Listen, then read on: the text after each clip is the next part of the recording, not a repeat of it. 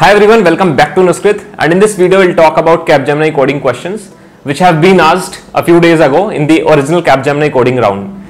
Before starting this video, I would like to thank Relevel for sponsoring this video. Nowadays, startups like Cred, Razorpay, CureFit are the dream startups. But what if they don't directly hire from your college?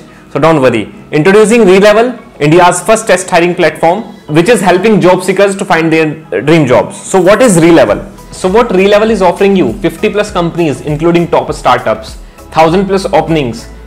It's completely online and it can be taken from the comfort of your home and it's completely free. Yes, it's absolutely completely free. So how to register? So you have to go to the link given in the description. You have to select the test test of your choice. So there are various tests available like backend, front end and business development associate. So you can uh, choose any of the tests now you can book these slots after registering and you have to create a neat and good resume and you have to submit it. So what are you waiting for? Register for the Relevel test today.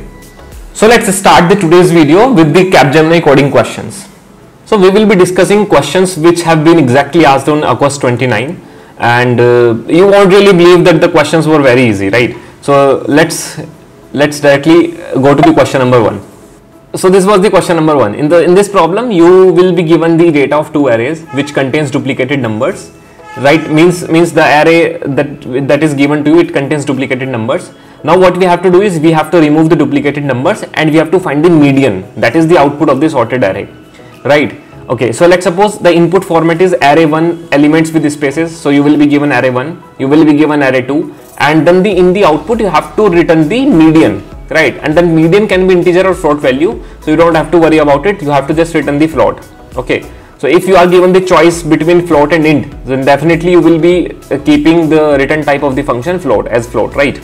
Okay. So let's look at the sample input. So sample input is 3112 and 43321 so you can directly see that the in the in the first array one is the duplicated element. In the second array 2 is the duplicated element. So first we will remove the duplicated elements so like for example, the array 1 would, would become 3, 1, 2 and this array 2 would become 4, 3, 2, 1.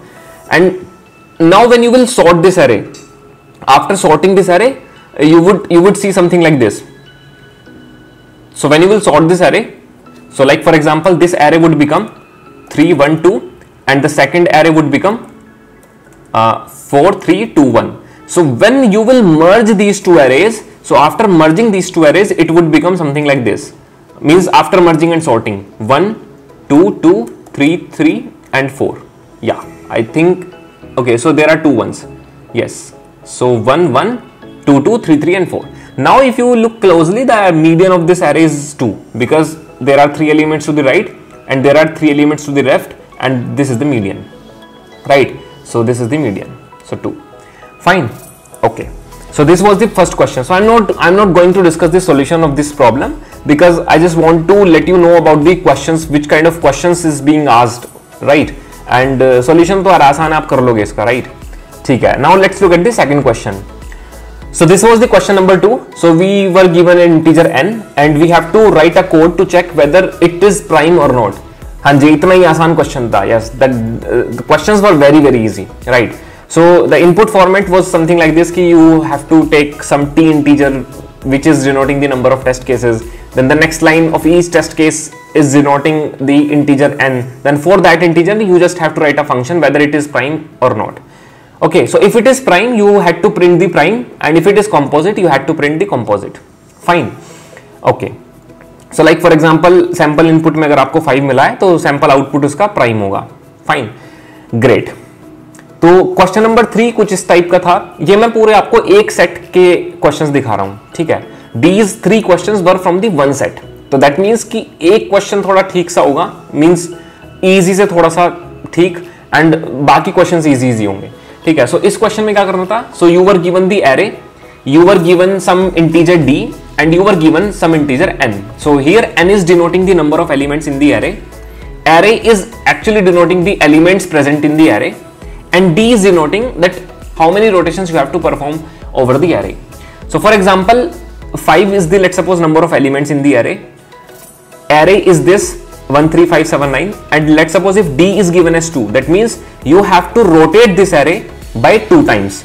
So say for example, so if you will rotate this array by one time so this array would become so you will get something like this the 9 uh, 9 will come at the very first position this 1 will be shifted to the right then 3 then 5 and then 7 so this is the first rotation but we have to rotate it twice so the second rotation would become something like this so now if you rotate once again this array so this 9 will be shifted to the right that means the last 7 will come at the first so 7 then 9 then 1 then 3 then 5 so this is the output so yeah there were questions were very easy so you really don't have to worry about it कि questions किस तरीके के आएंगे किस तरीके के नहीं आएंगे there will be no tough question question will be very very easy right and let me tell you uh, other sets contained questions like uh, finding the area of the circle ठीक है so you will be given a radius wherein you will have to find the area of the circle questions were related from the palindrome let's suppose if given string is a palindrome or not right so you will you had to check the palindromic nature of the string so इस इस तरीके के questions थे so I think this is enough to motivate you for the coding round Fine so you just have to practice the easy easy question elementary programming आपको ज़रूर करना है, वो बिल्कुल भी नहीं छोड़ना है। ठीक है? लीप ईयर कैसे निकलता है, ये आपको कर लेना है। क्योंकि हो सकता है कि इजी क्वेश्चन में लीप ईयर ही पूछ ले। ठीक है? तो लीप ईयर की कंडीशन आपको पता होनी चाहिए।